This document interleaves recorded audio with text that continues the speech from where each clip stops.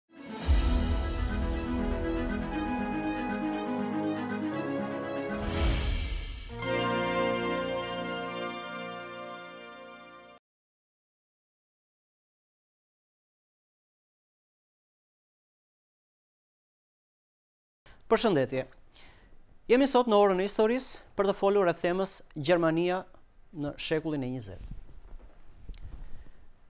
Gjermania e pas luftës së parë botërore, Republika e Vajmarit, Kushtetuta e miratuar në Vajmar, grupimet politike në Gjermaninë e pas luftës, ardhja e nazizmit në pushtet, Doktrina naziste, tiparet e totalitarizmit në Gjermani, platforma ekonomike e nazizmit, politika e manipulimit të të rinjve pra e gjithë popullsisë në Gjermani. Gjermania doli nga lufta e parë botërore në krahun e shteteve humbëse.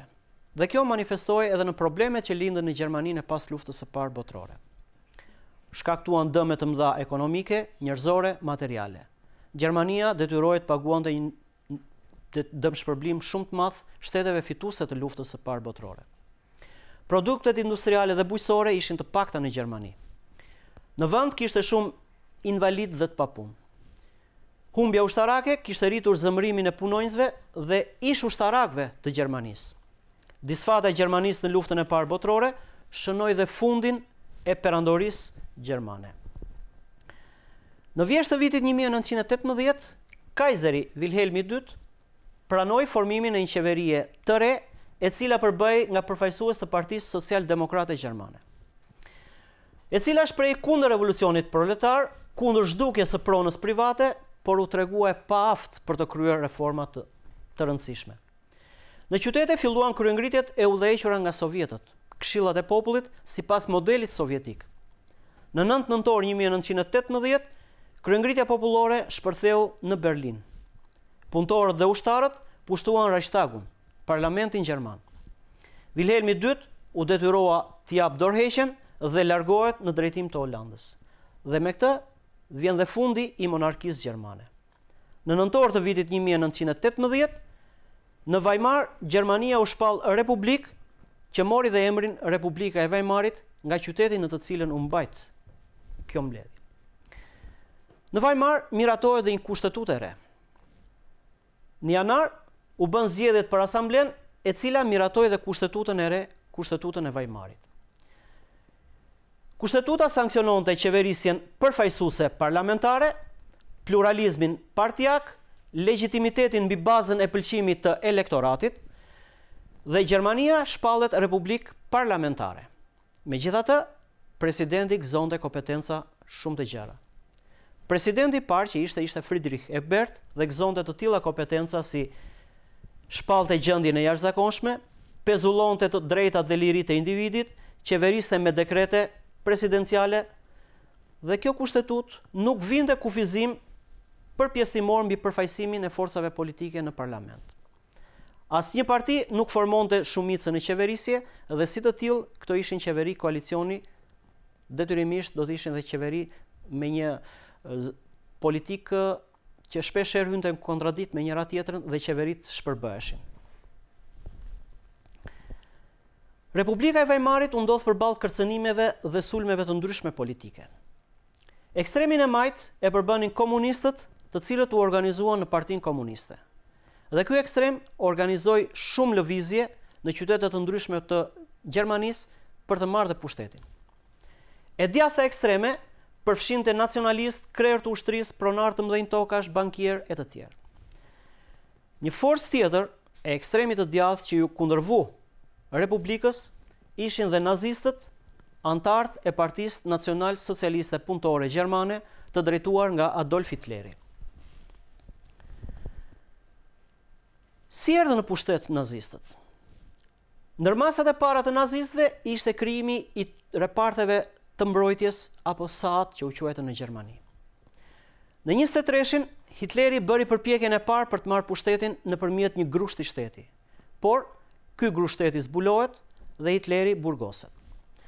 Dhe pas kësaj ngjarje, Hitleri e kishte të qartë që nuk mund ta merrte më pushtetin me dhunë, por iu fut rrugës institucionale për të marrë këtë pushtet. Në zgjedhjet elektorale të organizuara në 32-shin, komunistët fituan një numër të konsiderueshëm vendesh në parlamentin gjerman.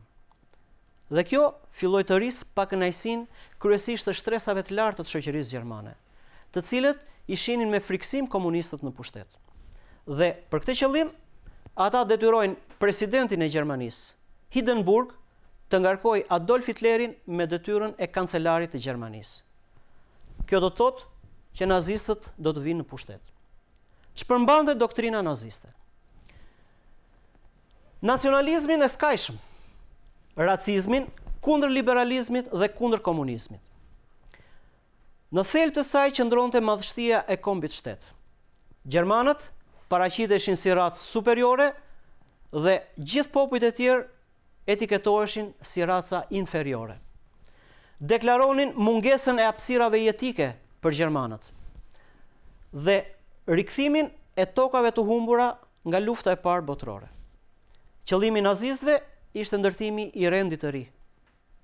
Dhe kjo mund të arrihej vetëm nëpërmjet vendosjes së shtetit mbi gjithçka. Dhe i drejtuar nga një udhëheqës i pagabueshëm siç ishte Fyreri apo Adolf Hitleri. Doktrina naziste përmbante premtime me karakter ekonomik, social, por dhe politik. Propaganda u përdor si një nga mjetet më kryesore të manipulimit të shtresave të gjera të shoqërisë gjermane. Natyra e vërtetë e nazizmit u shfaq me ardhjen e tyre në pushtet. Fillimisht zhdukën liritë dhe drejta civile, e drejta e fjalës, e drejta e shtypit, e drejta e tubimeve, e drejta e pasurisë, kontrolli. Shpërndarja e të gjitha partive politike jo-naziste në Gjermani. Kulti i udhëheqësit që cilësohej si lideri apo fyreri. Në tridhjetë e katër u shpërndanë repartet e mbrojtjes, repartet e sulmit SA-të dhe u krijuan repartet e mbrojtjes SS-ët gjermanë. U krijua aparati i terrorit, policia sekrete apo Gestapoja, e cila godiste çdo element kundër regjimit nazist. Terrori filloi mbi hebrenjtë dhe komunistët. Cila ishte platforma ekonomike e nazizmit? Nazistët e ruajtën pronën private, por e kontrolluar prej tyre. Forcuan kontrollin shtetëror mbi sipërmarrjet private.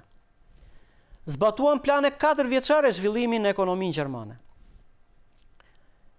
shteti nazist u vu në rolin e punëdhënësit, pra duke hapur fronte të reja pune. U investua kryesisht në rrugë, autostrada, banesa, vepra publike, pra në ato vepra që kërkonin një numër të madh punëtorësh. Pjesë e platformës ekonomike të nazizmit ishte ekonomia vetëfurnizuese edhe këtu në Gjermani.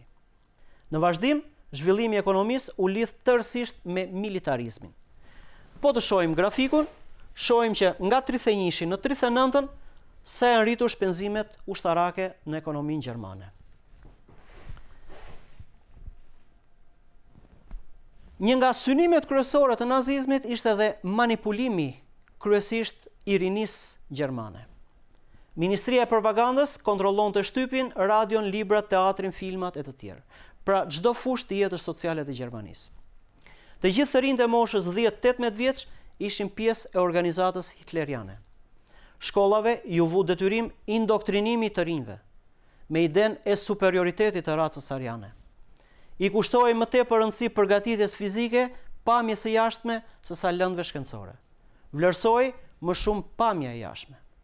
Pra në këto kushte, Gjermania u lidh totalitarisht me regjimin e Hitlerit, duke synuar më pas atë politikë të jashtme agresive që do të fillojë ky udhëheqës. Ju falemderit!